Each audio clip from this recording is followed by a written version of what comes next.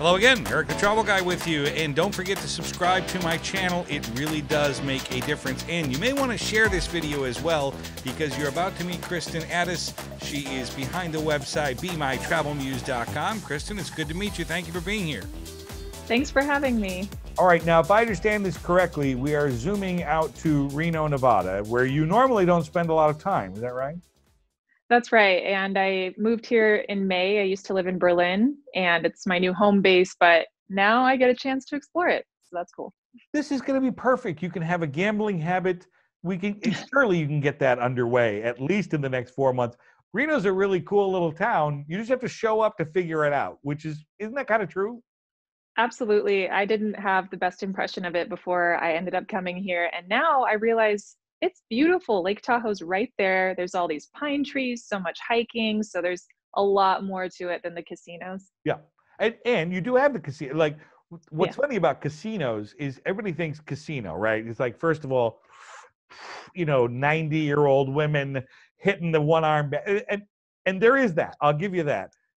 But what's interesting about it to me is that when you have casino infrastructure, a lot of times with casino infrastructure comes culinary, comes wine, comes uh, you know shopping, uh, hotel rooms. I mean, there's a lot of infrastructure and a lot of good that comes with it. A lot of heartache there on the casino floor too. Don't get me wrong, um, but there's certainly plenty of that. All right, we need to talk about first of all, why did you decide this is the gig that you want to have? I realize on the surface, who doesn't want to travel the world? And get paid to do so. I get it. But why personally? Why did you decide this was going to be it for you?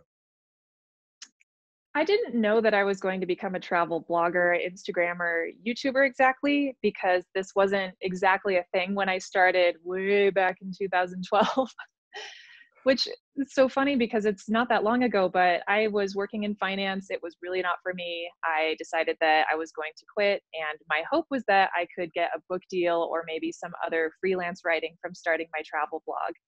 Then the travel influencer industry be, was born, and so I was in a good position at that point to turn more into a full range of photography, video, and blogging. And so it's been in a, a crazy adventure ever since. I'm, I, is your degree in? Uh, do you have an MBA in business? I don't know if you do. I don't. I don't think it's here in the, the check. no, it doesn't say that you do, and yet here you are, a business owner. Yeah, I think the entrepreneurial journey is available to anyone, and I, you know, especially as an American, as Americans, we are sort of instilled with this potential gene. So we're told we can do anything, and if you really believe it, I I believe the hard work and the passion. If if those two things are there, then you can make your dreams come true. I mean, that must be true for you. You're sitting here. Come on now, let's not make it about me. Oh well, okay. Uh, no, I yes, absolutely. Of course, we yes we do share that, um, and I do wonder if it has something to do with how we were raised. But I do think it comes from within. I do believe that that at the end of the day, especially when you're in those formative years that we don't really understand are as formative as they are.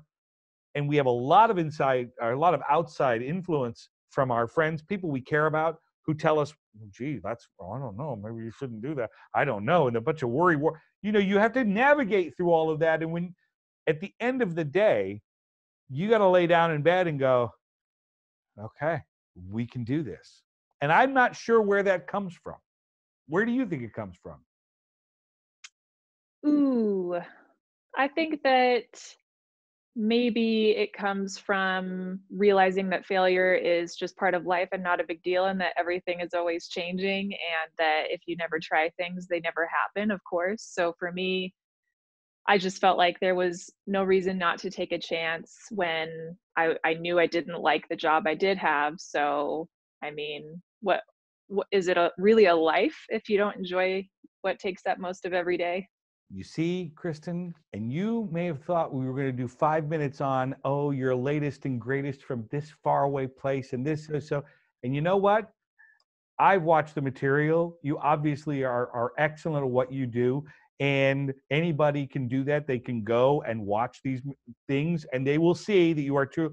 But I am interested in the person that you are versus the person who's on the camera box and i think that that who you are is just as interesting as what you do and and so thank you for answering honestly and and and being forthcoming and humble in the fact that you do have what is perceived to be a dream job but that it is a tremendous amount of work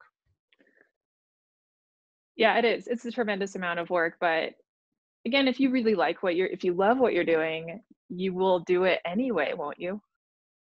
Well i i believe don't make me cry now stop it. Yes i yes I, I yes i believe that. It, again but that's a hard value proposition to sell someone. That's a that's a really difficult you know you talk about generations of of you know we work we do this we retire you know i certainly have plenty of friends uh, that are what should be their retirement age 65 70 and i said what am i going to do retire and play golf all day? Of course i love what i do. I'm going to do it till i drop dead. The question i would have for you is you set out to do this maybe didn't exactly know what the end game was or the exit strategy yet. What was the biggest thing that you learned almost immediately after doing this for a living that it's possible i mean the mm. first step is believing what you want is attainable. So for me, when I first started, I mean, I took off to Bangkok eight years ago with only a carry on backpack, one way ticket by myself, no plan. And the journey just unfolded in the most beautiful, organic, serendipitous way. And I think through that, I learned to trust in the journey, to know that I wouldn't know what's coming and that I, I, am adaptable. And I think, especially in this day and age, eh, with what we're dealing with right now, knowing that you're adaptable is super helpful. That that way you can just trust life. Yeah. Let me ask you this too, um, because I know you get asked this a lot, so I'm just going to jump right on this bandwagon. Um, maybe you don't. I don't know. Um, somebody sitting watching this today eh, with the presupposition that that tomorrow is going to come and we're going to get through what we're dealing with today. Under normal normal circumstances what advice do you give to people on how to plan a vacation that's meaningful to them?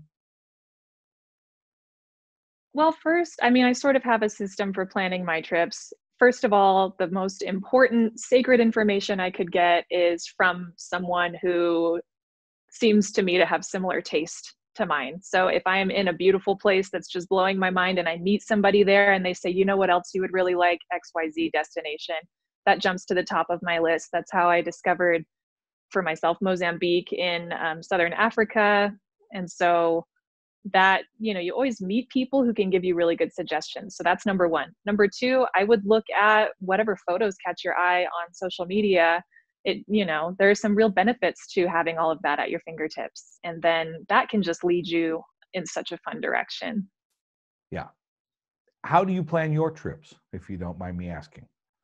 So i take those two things into account and then i usually hop on google at that point and start doing my research looking for websites that are similar to mine that can give me a bunch of really good free advice from someone who's been there and experienced it firsthand and then that helps me sort of get some inspiration. But the best thing that i can do for my experiences is try to leave as much room for serendipity as possible because you learn so much when you're on the ground and also to move slowly to not try to see too much at once because then you see too little of everything. Very well said. That's a good line. Did you is that an original or did you lift yeah that? i just came up with it on the fly. Oh, should write it down one. same thing with the notion of if you're going on a vacation personally and your only goal is to take a bunch of pictures and videos, well, then you're going to experience that place differently than when you truly feel it and be present for it. All right, do you know where you're going next or no? I hope to go to French Polynesia in September. That's when the humpback whales come up to do their calving.